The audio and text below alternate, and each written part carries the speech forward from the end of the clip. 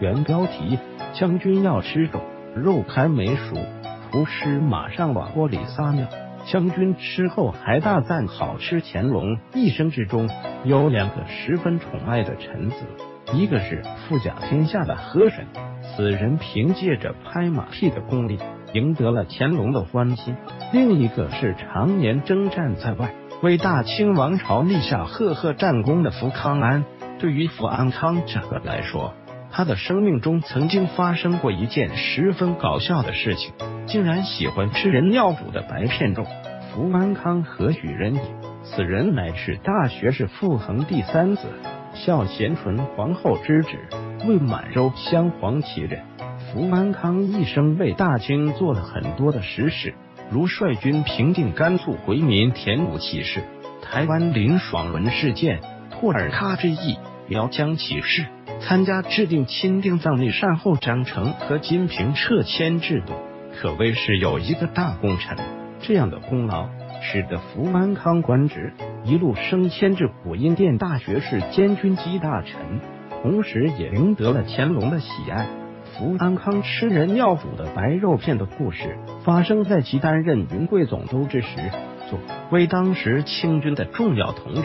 当地各州县对于福安康的饮食都极为重视，福安康在此地十分钟情于白片肉，尤其是煮的很烂的肉。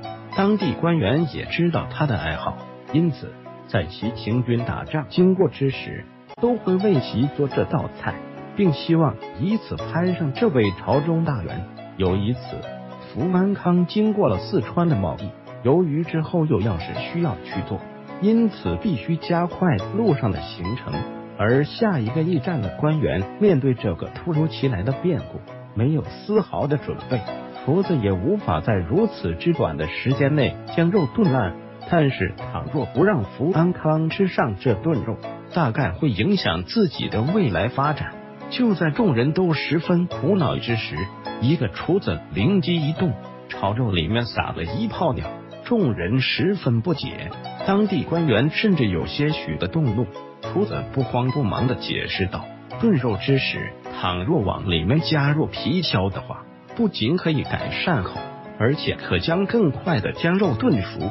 但是今天忘了提前准备皮椒了，并且这东西不好买。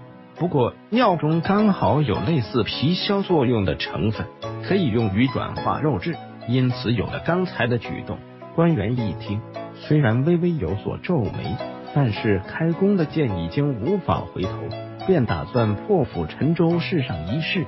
福康安不久之后便到了驿站，官员马山摆上宴席迎接于他。福康安尝了厨师所做的这道白片肉之后，十分满意，并连连夸奖，甚至打赏了这个厨子。当地官员终于松了一口气，这样的举动无疑是一种冒险。但是这个厨子坚定不移的做了，可以说是一个很大胆的举动。不过结果却是好的。参考文献《清史稿》，细说清朝返回搜狐，查看更多责任编辑。